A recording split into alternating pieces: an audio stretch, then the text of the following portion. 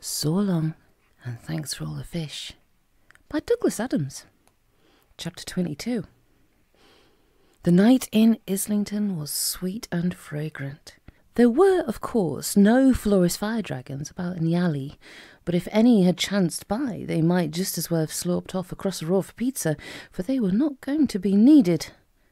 Had an emergency cropped up while they were still in the middle of their American hots with extra anchovy, they would always have sent across a message to put Dire Straits on the stereo, which is now known to have much the same effect.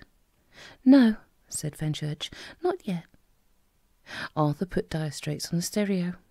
Fenchurch pushed ajar the upstairs front door to let in a little more of the sweet, fragrant night air.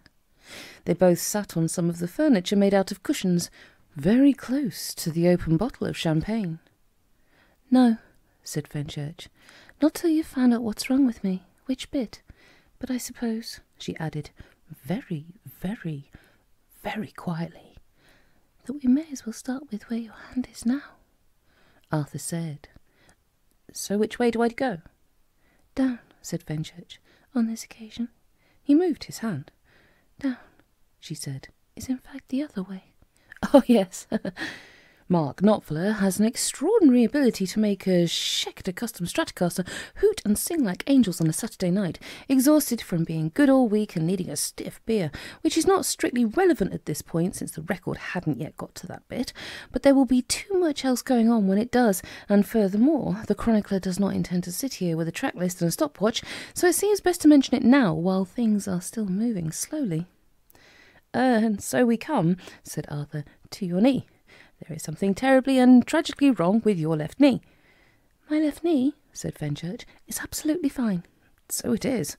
Did you know that? What? Oh, it's all right. I, I, I can tell you do. No, keep going. So it has to be something to do with your feet. She smiled in the dim light and wriggled her shoulders non-committally against the cushions since there are cushions in the universe, on Squornshellous Beta to be exact, two worlds in from the swampland of the mattresses that actively enjoy being wriggled against, particularly if it's non-committally, because of the syncopated way in which the shoulders move. It's a pity they weren't there. They weren't, but such is life. Arthur held her left foot in his lap and looked it over carefully. All kinds of stuff about the way her dress fell away from her legs was making it difficult for him to think particularly clearly at this point. I have to admit, he said, I really don't know what I'm looking for. You'll know when you find it, she said. Really, you will. There was a slight catch in her voice. It, it's not that one. Feeling increasingly puzzled, Arthur let her left foot down onto the floor and moved himself around so that he could take her right foot.